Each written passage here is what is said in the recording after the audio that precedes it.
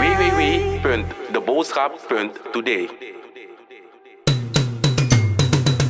Minister Misikaba opent wijkkantoor Sosavo te Tapanahoni.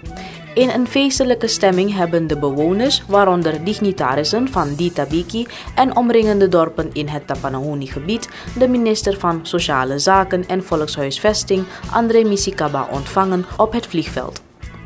De minister, die ook zijn collega van Volksgezondheid, Antoine Elias, in deze missie vertegenwoordigde, heeft op 26 augustus 2019 eerst de opening verricht van een studentenwoning van de medische zending.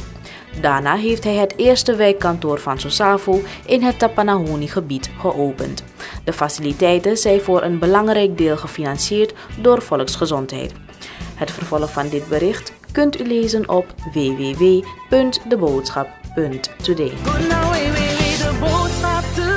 Www.deboodschap.today.